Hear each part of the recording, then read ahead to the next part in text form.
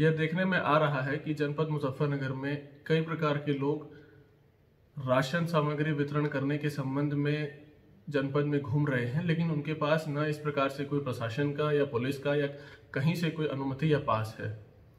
कल से जनपद में इसके संबंध में एक मुहिम व एक अभियान चलाया जाएगा। कोई भी ऐसा व्यक्ति यदि पाया जाता है जो कोई भी राशन सामग्री या अन्य कोई भी सामग्री बांटने के नाम पे शहर में, जनपद में, देहात में कहीं भी घूमता हुआ पाया जाता है बिना परमिशन के, बिना प्रॉपर अथॉरिटी के, बिना प्रॉपर परमिशन के तो उसके विरुद्ध न केवल मुकदमा दर्ज किया जाएगा, बल्कि जानबूझकर कोरोना संक्रमण के समय में लापरवाही बरतते हुए जनपद के सभी लोगों की जान को खतरे में डालने के संबंध में अभियोग दर्ज किया जाएगा।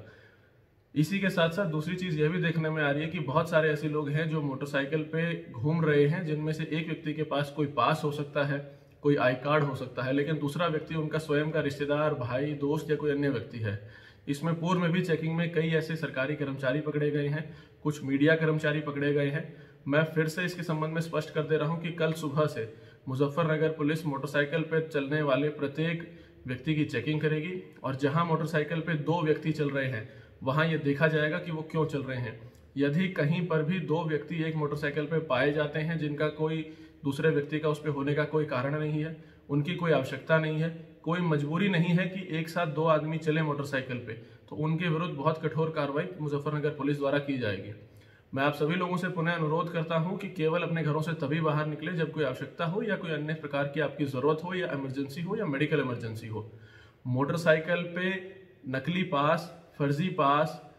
फर्जी आई कार्ड। मीडिया के नाम पे फर्जी प्रकार से, किसी भी प्रकार से कोई आई कार्ड बना लेना, उसको इस्तेमाल करना एक दंडनीय अपराध है कोरोना संक्रमण के समय में।